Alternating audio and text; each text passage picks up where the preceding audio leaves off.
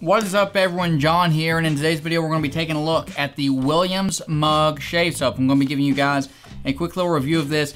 Now, I've already recorded this video two times, and this is my third attempt at recording it. First time, the memory card corrupted. Second time, swapped out another memory card. Forgot to format it. That memory card filled up in the middle of recording. Starting over again.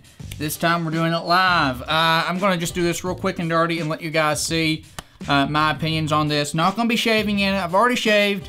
And uh, just to kind of give you some opinions on this. So, because I've been using this for about a week. All right. And by the way, I, when I say shave, I've shaved my neck. I'm no shave Novembering right now. Um, but I've been using this for about a week, a little over a week actually. And it's left me uh, wanting uh, something a little different. I'll say that. It's not exactly satisfied me. It's uh, really cheap. It's Williams Mug shaving soap for a long-lasting lather and it is 1.75 ounces, one and three quarter ounces, at about $1.29 for a puck. I've got my Williams mug uh, sitting here in this little coffee mug, and I've got a little coat hanger glued onto it here, bent into a hook for hanging my safety razor on it. It's a nice little setup. You can put your razor in there, your puck in the bottom, sticks in the bottom.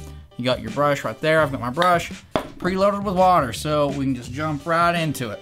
So let's go ahead and take a look at the Williams mug. I've already got the puck in here and uh, start lathering up. I'm gonna take my razor out of here so it's not rattling around. I'm gonna lather it up and let you guys see how the lather lasts with it because it says on the box for a lasting lather and my experience has been a little less than that unfortunately. I really wanted to like this soap. I mean I tried it and I tried it and uh, I've tried it as a really wet lather and as a really dry lather and no matter what I do, it always has these really big bubbles, and it becomes really sudsy and almost like a foam rather than a cream.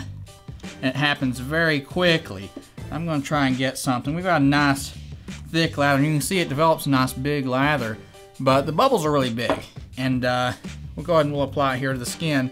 And you can see, well, it looks like it looks nice now and uh, we'll just get that on there nice and thick. And I'm going to go ahead and lather it on there. Just give it as much of a chance as I can get some nice fine bubbles started so it'll last a little longer. And uh, we'll give it about 30 sec we'll give it a minute. We'll let it go a minute. What is it right now? Alright I'll let it go a minute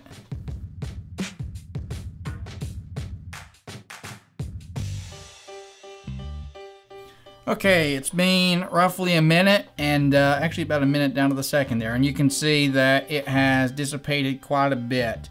You can see you can see through down, see through down to the skin.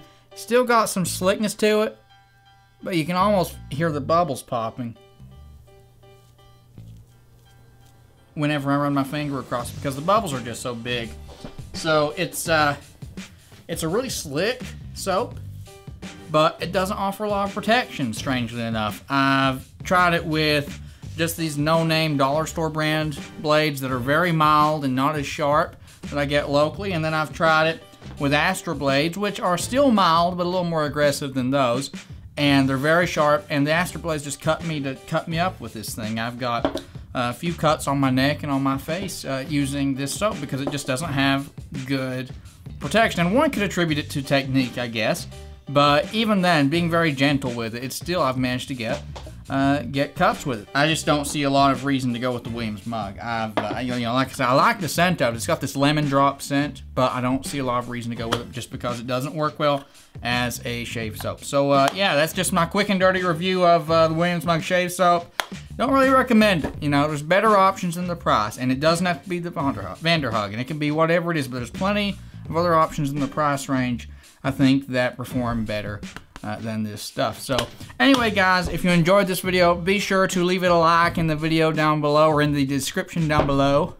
What? Be sure to leave it a like down below. Leave me a comment down in the comment section down below if you have any opinions or suggestions for future videos. And subscribe to me if you want to see more videos like this from me. And I will see you in the next one. Later.